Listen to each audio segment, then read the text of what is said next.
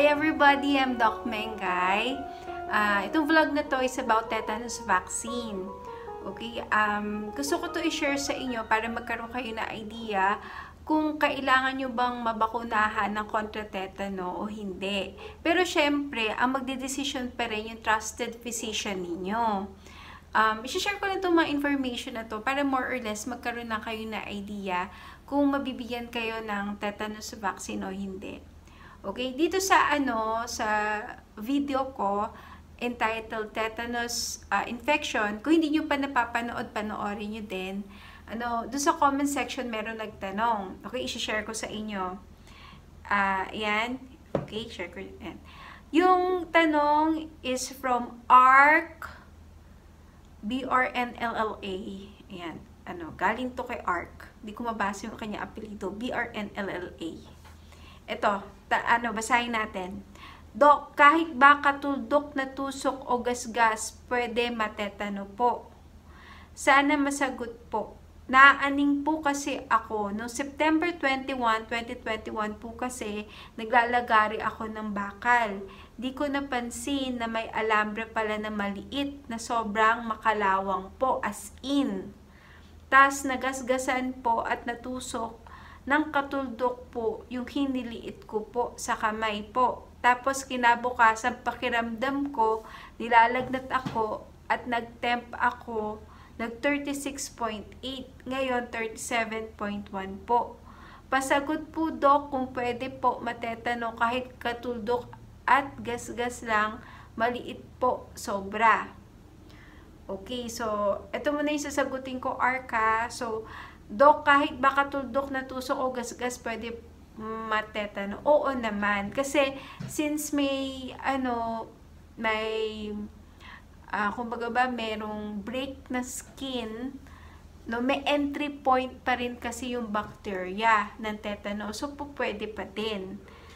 Tapos, ano pa yung tanong mo? Ito, meron ka dito minention na pakiramdam mo nilalagnat ka, tapos kinuha mo yung temperature mo, 36.8 to 37.1. Well, well, arc, ano yun, normal temperature pa din yun. So, yung 36.8 at saka 37.1, normal temperature pa din yun. Okay? Tapos, ito pa yung tanong mo may GERD din po ako eh.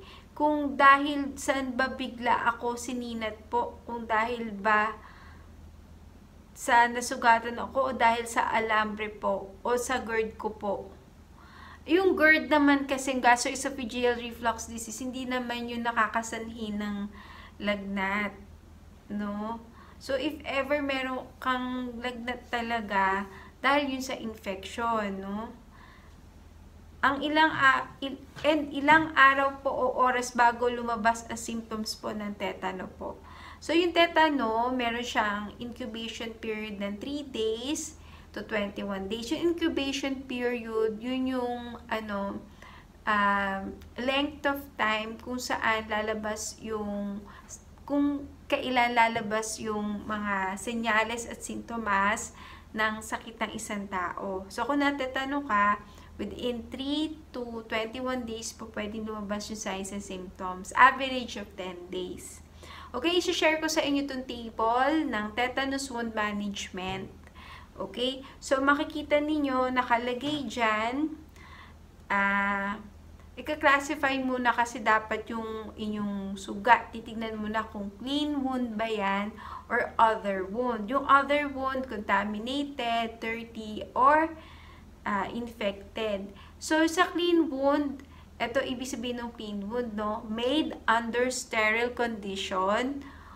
So, ano siya, st under sterile condition, no? Yung hindi maduming uh, environment where there are no organisms present and the skin is likely to heal without complication. Usually, mga surgical wound to, yung ginawa sa operating room, no? Uh, sterile yung environment. So, obviously, yung kay ARC, hindi naman sa ganitong environment naganap yon So, yung sugat niya, dito siya nagpo-fall sa all other wound. It's contaminated, dirty, infected wound. Okay? So, kailangan ba niya ng tetanus vaccine? So, depende yon Halimbawa, nakita nyo dito sa, ano, sa chart, no? Kapag, ano, unknown or less than 3 doses yung tetanus vaccine niya, kung hindi niya alam kung nabakunahan na ba siya ng kontra tetano, or alam niya nabakunahan siya pero less than 3 lang, uh, dito tayo titingin sa all other wound kasi dito nakaklasify yung wound niya. So, kailangan niya ng tetanus toxoid vaccine. Tapos, kailangan din niya ng immunoglobulin. Yung kasi tetanus toxoid vaccine hindi agad i-epekto. So, yung tetanus uh, immunoglobulin, yun na yung mismong preformed antibody na madali ang palaban sa tetano. So, kailangan yun ibigay no, within 24 hours. Siguro pinakamatagal na yun within 72 hours. Okay? Tapos, um, kapag naman yung bakuna niya, eh, tatlo na, naalala niya na bakunahan na siya ng tatlo na o higit pa, hindi niya na uh, kailangan ng ano ng tetanus toxoid. Pero, pag more than 5 years na yung huli niyang bakuna ng tetanus toxoid, advised pa rin na magkaroon siya ng tetanus toxoid vaccine. Pero hindi niya na kailangan ng tetanus immunoglobulin. Okay, yun na lang muna. Sana may natutunan kayo. If like this video, don't forget to click the like button and subscribe to my YouTube channel. Bye.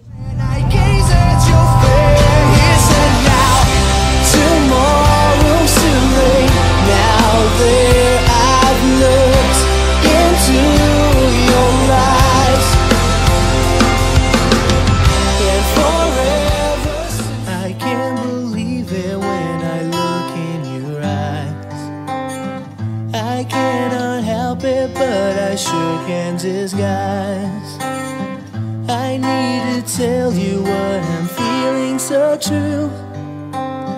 If there's a God above, His proof must be you. And now, tomorrow's too late. Now there I've looked into